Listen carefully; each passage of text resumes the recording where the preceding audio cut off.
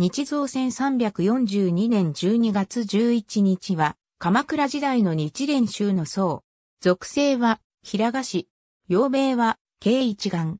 下宇佐国の出身。防号は、肥後坊。肥後あじゃりと称される。史上門流の祖。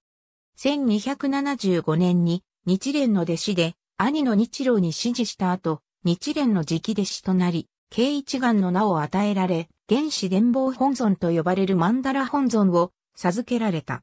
1293年日蓮の異名を果たすべく、京都での布教を決意する。まず、日蓮の足跡をたどって、佐渡にて、法華行を布教した後、北陸、七尾に向かう。その戦中での法論の結果、イスルギ山の僧、万蔵を弟子とした。万蔵により、イスルギ山に招かれ、法華行を解くも、三条の大衆により万蔵ともども追われ、それが、白衣大政治の創建につながることとなった。1294年上洛して間もなく、金利に向かい上層する。その後、辻説法を行い柳谷中京、大覚寺の僧、大覚らから帰依を受ける。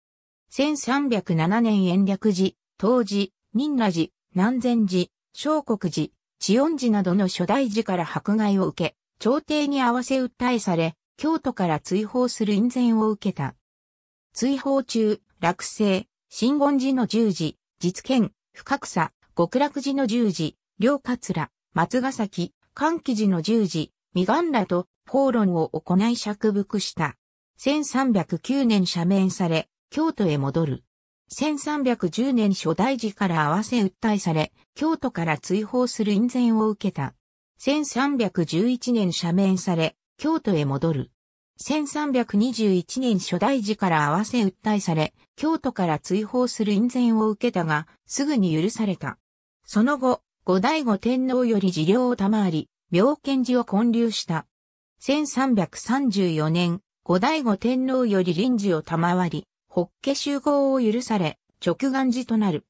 妙見寺は、直願寺たり、ことに一条円丼の収支を広め、よろしく司会太平の聖祈りを凝らすべし、以後、南朝、後醍醐天皇の京都観光の祈願する一方、北朝、黄金上皇の祈祷も行い、後部の信仰を集めた。